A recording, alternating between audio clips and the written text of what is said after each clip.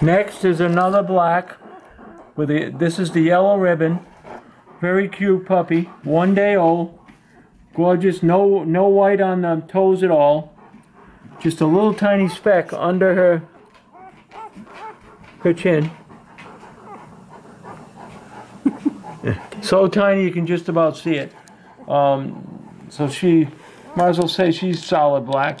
So it's a little tiny spot, like a little dot. Her face is gorgeous. One day old. She's also going to be a big girl. No white on her toes, under her feet. So that's the yellow ribbon if you're interested. Thank you.